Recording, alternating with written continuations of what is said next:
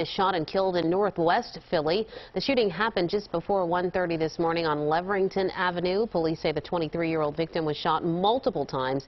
Investigators are now working to determine a motive in this case.